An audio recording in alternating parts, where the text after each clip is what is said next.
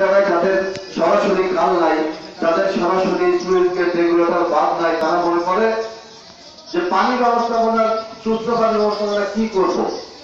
সুস্থ পানি ব্যবস্থাপনা কি করবে? আমি ছোট্ট একটা গল্পের মাধ্যমে বলি। গল্পটি হচ্ছে যে আপনার বাড়ি পাশে খাল সকালবেলা ঘুম থেকে উঠে দেখলেন যে একটা হাঁস মরছে ইঁদুর মরে গেছে পাঁচটায় সকালে পায়খানা করছে। হাঁস মুরগির পায়খানা পায়খানা সমস্ত কিছু নিয়ে আপনি খালের মধ্যে ফেললেন।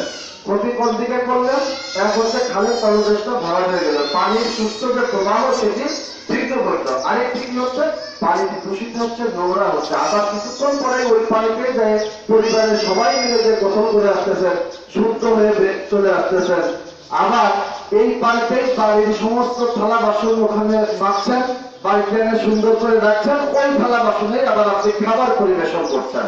তার মানে আপনি নিজে নোংরা করলেন, দূষিত করলেন, আবার সেই দূষিতটা আপনার সেই ওই সেই সে মতো রাতের গল্পের মতো যে পাচ্ছে মাথায় হাত দিয়ে বসে দেবে আরে কি রে, ব্যাপারটা কি? এই গল্প জানেন তো নাকি? তার বিষয়টা এরকমই কিন্তু আমরা করি। আসলে আমরা পানির সুস্থ ব্যবস্থাপনাটা করি না। পানির সুস্থ ব্যবস্থাপনা হবে কিন্তু আমাদের এই প্রকল্পের মাধ্যমে। আমরা এই প্রকল্পের মাধ্যমে কিছু কাজ করব।